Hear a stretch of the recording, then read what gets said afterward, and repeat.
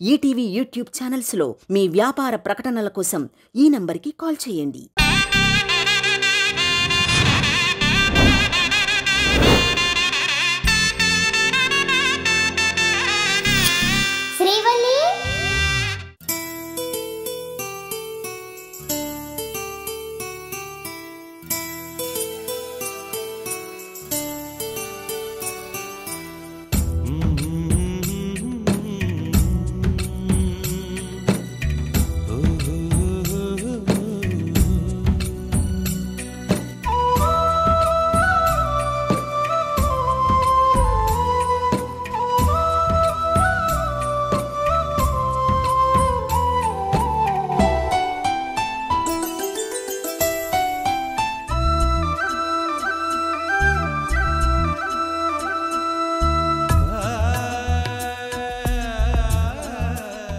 శ్రీవల్లి. నన్ను క్షమించం. నాన్న ఏంటి మీరు చేస్తున్న పని?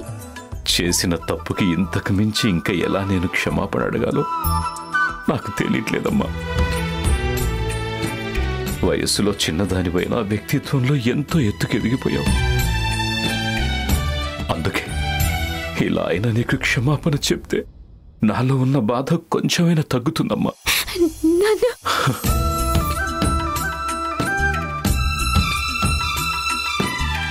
ఎన్నెన్నో ఆశలతో పెంచానమ్మా గుండెల్లో. నువ్వే నా కలలన్నీ పెంచలేని కన్నుల్లో. నా తల్లివి నువ్వో నీ తండ్రిని నేను ఎవరినెవరు లాలిస్తున్నారో.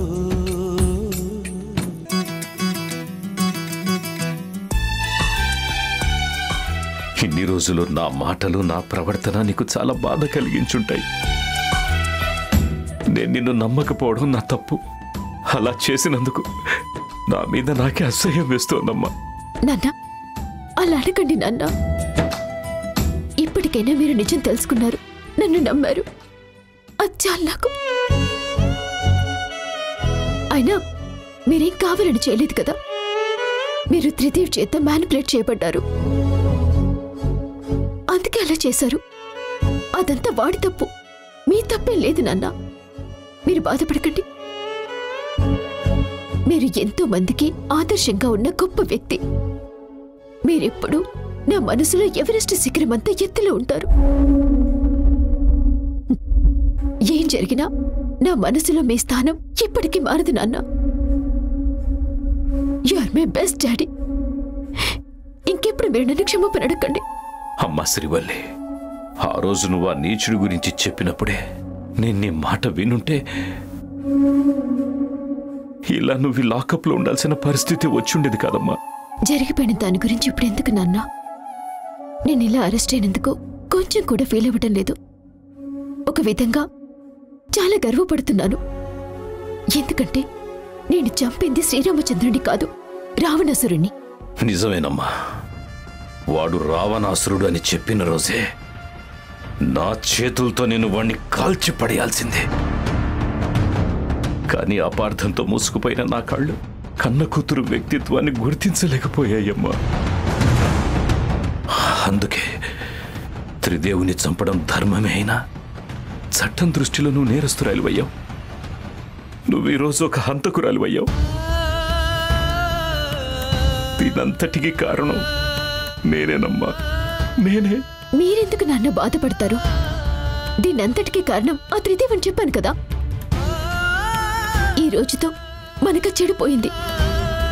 ఇక మనకి ఎటువంటి ప్రాబ్లమ్స్ రావు. కానీ ఈరోజు ఇటువంటి పరిస్థితి వచ్చింది కదమ్మా. ఎంతో ఆనందంగా సాగాల్సిన నీ వైవాహిక జీవితం ఒక కిరాతకుడి వల్ల ఇలా అయిపోయింది. అది నాన్న మనసుకు ఎంత క్షోభ కలిగిస్తుందో మాటల్లో చెప్పలేను తల్లి. నాన్న నా గురించి మీరు ఆలోచించకండి బాధపడకండి. గతంలో ఏం జరిగిందో అది మంచిగా జరిగింది. ఇప్పుడు ఏం జరుగుతుందో అది మంచి జరుగుతుంది.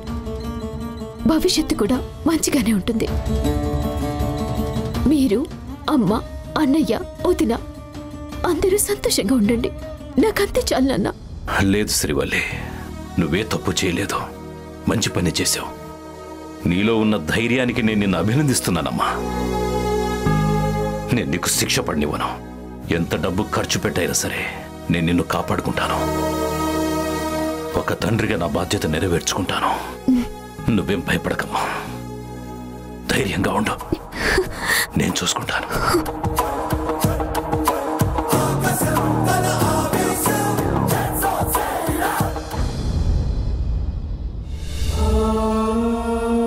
సీతకి బ్లడ్ డోనర్ దొరికితే బాగుండు.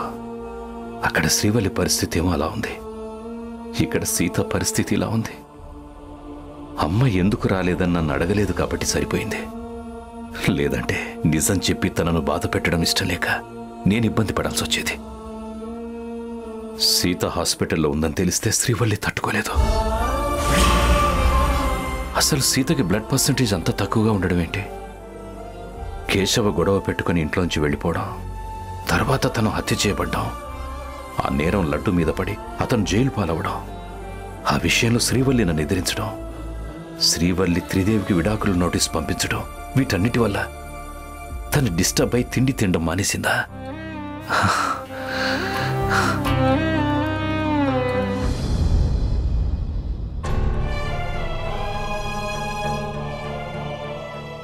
దినేష్ భవాని వాళ్ళు ఇక్కడ లేరేంటి? ఎక్కడికి వెళ్ళుంటారు? సిస్టర్ సీత బానే ఉంది కదా? ఆవిడ బాగానే ఉన్నారు. మీరెక్కడికి వెళ్ళారు చిన్న పని మీద బయటికి వెళ్ళాను ఇట్స్ ఓకే సార్. మేడంకి బ్లడ్ డోనర్ దొరికారు సార్. అవునా. Thank God. అవును సార్. ఆల్రెడీ బ్లడ్ ఇస్తున్నారు కూడా. Thank you sister. ఇందాక డాక్టర్ గారు మిమ్మల్ని అడిగారు. బ్లడ్ ఎక్కించడం పూర్తయ్యాక మీరు ఒకసారి డాక్టర్ గారిని కలవండి. అలాగే సిస్టర్. సుబ్రహ్మణ్యేశ్వర స్వామి సీతకి బ్లడ్ డోనర్ దొరికాడు.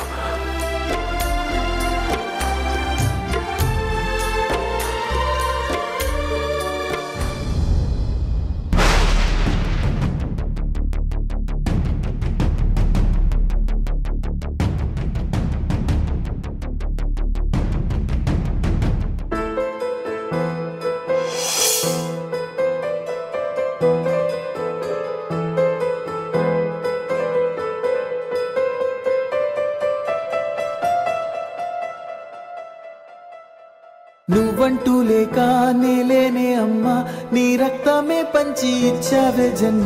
నా నుదుటి పైన తొలి ముద్దు నువ్వే. తొలి ముద్ద నువ్వై నా కడుపు నింపావే.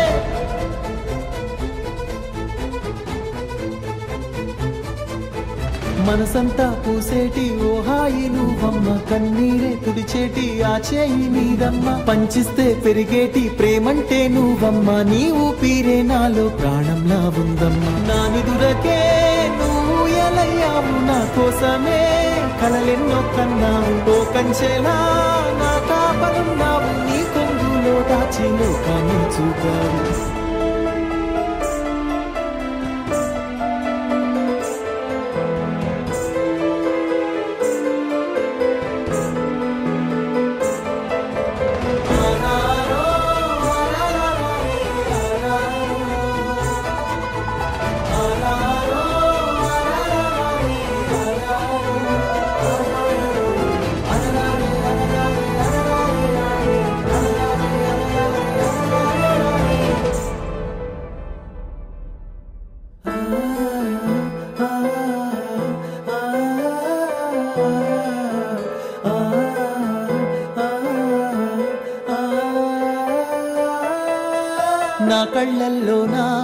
వెలుగుల్ని నింపి చీకట్లో ఈ రోజు మిగిలావే అమ్మ. నన్ను కన్న తల్లి నాయువిచ్చి నిన్నే నిన్నే బ్రతికించుకుంటానే.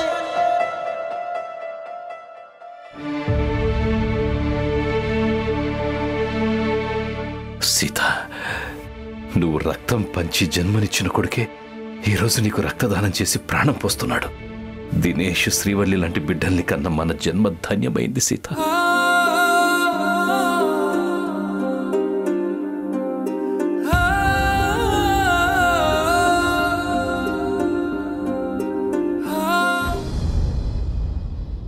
ఇంకా ఎటువంటి ఎవిడెన్స్ సేకరించబోవడం ఏంటి? వన్ మంత్ నుండి ఆ కేసుని ఇన్వెస్టిగేషన్ చేస్తున్నారు కదా? ఇంకా ఎటువంటి క్లూ సంపాదించలేదని చెప్పడానికి సిగ్గుగా లేదు? ఆ కేసుకు సంబంధించి అటు హోమ్ మినిస్టర్ నుండి ఇటు మీడియా నుండి ప్రజలు ఎక్కువ అవుతుంది. త్వరగా ఏదో ఒక ఆధారం సంపాదించండి. నేను పోలీస్ ఆఫీసర్నే. నాతో మీరు ఇలా రూడ్గా బిహేవ్ చేయకూడదు. నువ్వు పోలీస్ ఆఫీసర్ అని చెప్పుకోవడానికి సిగ్గుగా లేదు?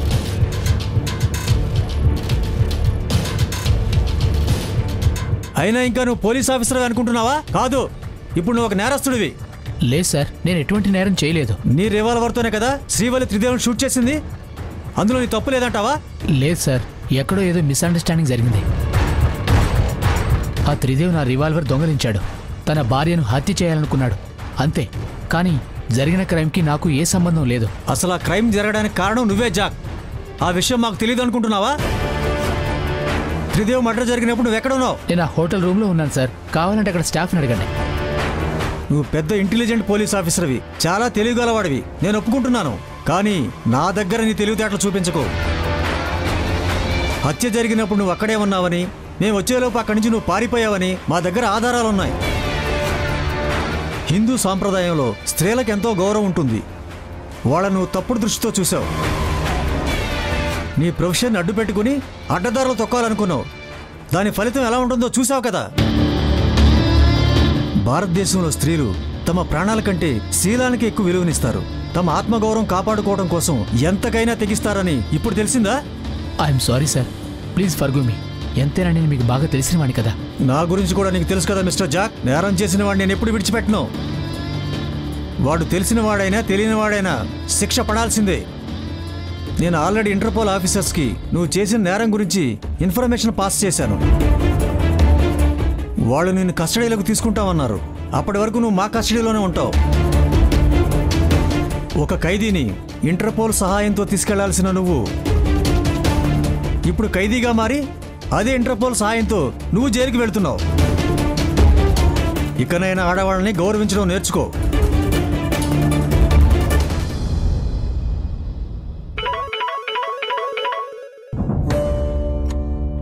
హలో? బావా నేను లడ్డూని మాట్లాడుతున్నాను బావా. నన్ను జైలు నుంచి విడుదల చేశారు బావా. నువ్వు కమిషనర్ గారితో మాట్లాడి ఎవిడెన్స్ ఇచ్చి వెంటనే రిలీజ్ చేయమని చెప్పావంట? అవును లడ్డు. థ్యాంక్స్ బావా. నీ వల్లే నేను బయటికి రాగలిగాను. నువ్వు నాకు థ్యాంక్స్ చెప్పడం కాదు. నేనే నీకు సారీ చెప్పాలి.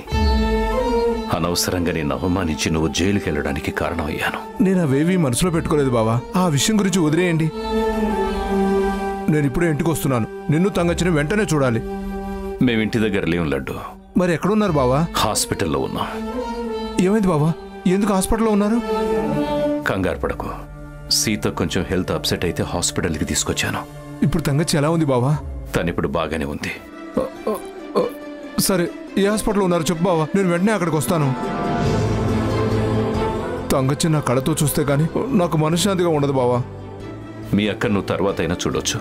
ముందు నువ్వు చూడాల్సింది శ్రీవల్లిని. నువ్వు జైలు నుంచి బయటకు వచ్చావని తెలిస్తే తను చాలా సంతోషిస్తుంది లడ్డు. అవును బావా చాలా సంతోషిస్తుంది. శ్రీవల్లి మీతో పాటు అక్కడ లేదా? లేదు లడ్డు. తంగచ్చి హాస్పిటల్లో ఉంటే శ్రీవల్లి తన దగ్గర ఉండాలి కదా? అక్కడ లేకుండా ఎక్కడికి పోయి ఉండదు? ఆఫీసులో ఉండదా? లేదు తను పోలీస్ స్టేషన్లో ఉంది. ఏం మాట్లాడుతున్నావు బావా? శ్రీవల్లి పోలీస్ స్టేషన్లో ఉండడం ఏంటి? అసలు ఏం జరిగింది బావా? ఏమైందంటే?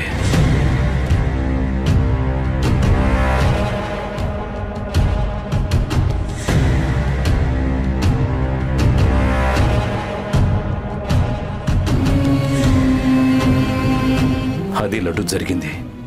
అలా త్రిదేవ్ చేసిన దారుణాన్ని తను సహించలేకపోయింది. షూట్ చేసి చంపేసింది. తను కరెక్ట్ పని చేసింది బావా కరెక్ట్ పని చేసింది.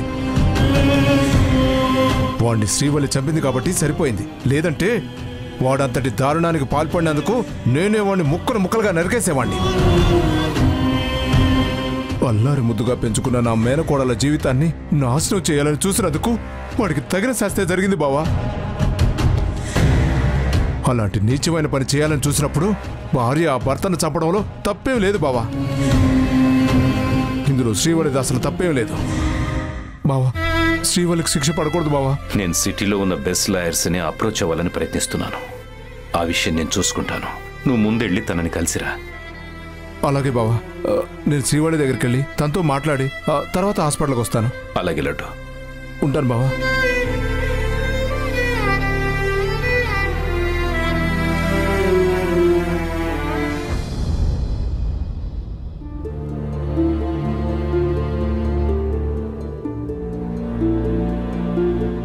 శ్రీవల్లి నిన్ను కలవడానికి ఎవరో వచ్చారు.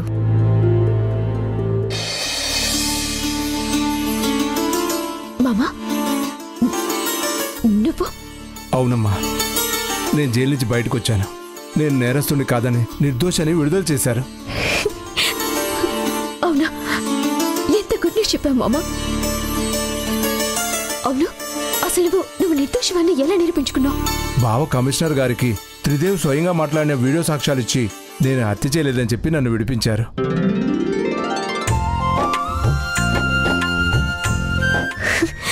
మొత్తానికి నాన్న నిన్ను అర్థం చేసుకున్నారు. నువ్వు అన్నయ్యని చంపలేదని నమ్మారు. నాకంతే చాలు. మొత్తానికి నాన్న నిన్ను అర్థం చేసుకున్నారు. నువ్వు అన్నయ్యని చంపలేదని నమ్మారు. నాకంతే చాలు. నేను నీ విషయంలో ఫెయిల్ అయ్యాను. అదేంటమ్మా అలా అంటావు? అవును మామ నిన్ను నిర్దోషిగా నిరూపించాలని నీ కేసు వాదించాను కానీ నువ్వు హత్య చేయలేదని నిరూపించలేకపోయాను. ఎన్ని రోజులు నువ్వు జైలు జీవితం గడపటానికి కారణం నా అసమర్థతే. నేను నిన్ను కాపాడలేకపోయాను. నన్ను క్షమించు మామ. నేను నిన్ను క్షమించడం ఏంటమ్మా? నా కోసం కన్న తండ్రిని ఎదిరించిన గొప్ప మనుషువమ్మా నువ్వు. కూడా నీకు ఇంత జరిగినా నువ్వు అరెస్ట్ అయి పోలీస్ లాకప్లో ఉన్నా నా గురించి ఆలోచిస్తున్నావంటే నీ గొప్ప మనసుకి చేతులెత్తి మొక్కాలమ్మా. మామ. అవును తల్లి నన్ను కాపాడడం కోసం నువ్వు అంత కష్టపడుతుంటే నాకు తెలిసిన నిజాన్ని కూడా చెప్పకుండా దాచి క్షమించడాన్ని తప్పు చేశానమ్మా. ఏంటి మామ నిజం? కేశవుని త్రిదేవ్ చంపాడన్న విషయం నాకు ముందే తెలుసమ్మా.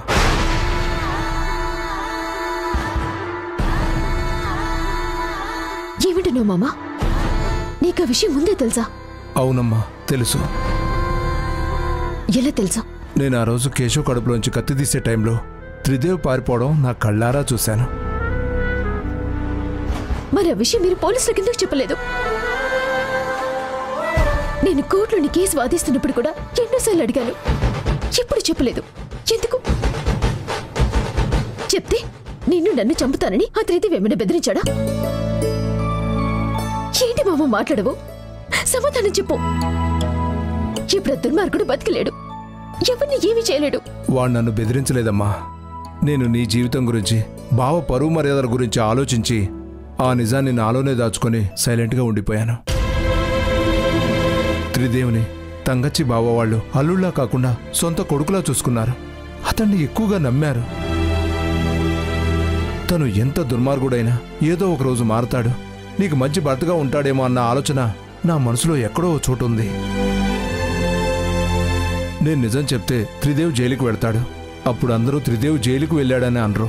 కోదండరామయ్య గారి అల్లుడు జైలుకు వెళ్ళాడంటారు. ఆ మచ్చ బావ మీద పడకూడదు అనుకున్నాను అందుకే నేను నోరు విప్పలేదు. అదే టైంలో హత్య కూడా నేనే చేశానని బావ కూడా గట్టిగా నమ్మాడు. కాబట్టి ఈ హత్య నేను చేయలేదని చెప్పానే తప్ప త్రిదేవ్ గురించి నిజం చెప్పలేదు. ఎంత పనిచేసావు మామా వాడి రాక్షస రూపం అమ్మా నాన్నలకి తెలియదు సరే. నీకు తెలుసు కదా వాడు అసలు ఎలా మారుతాడు అనుకున్నావు? నేను వాడితో కలిసి బతుకుతానని ఎలా ఆశపడ్డావు? ఆ నీచుడు నిన్నేం చేయాలనుకున్నాడో తెలిసాక నేను చేసిన తప్పని నాకు అర్థమైంది శ్రీవల్లి. ఆ విషయం తెలిసాక నేను అప్పుడే త్రిదేవి పేరు చెప్పి వాణ్ణి ఎందుకు జైలుకు పంపించలేదా అని బాధపడుతున్నాను. మామా నీ మంచి మనసు గురించి నాకు బాగా తెలుసు. నువ్వు నాకు మంచి జరుగుతుంది అంటే ఏదైనా చేస్తావు. జైలుకు వెళ్ళటానికి కాదు ప్రాణాలు ఇవ్వటానికి కూడా వెనకాడు కానీ చెడ్డ వాళ్ళని కరెక్ట్ టైంలో శిక్షించకపోతే వాళ్ళు ఇంకా నీచమైన తప్పులు చేస్తారని నాకు లేట్గానే అర్థమైంది. నిజమేనమ్మా. కానీ నా మేనకోడలు భర్తతో విడిపోకూడదని భావ నమ్మకం ఓడిపోకూడదని ఆ రోజు ఇంత భయంకరమైన నిజాన్ని నాలోనే సమాధి చేశాను.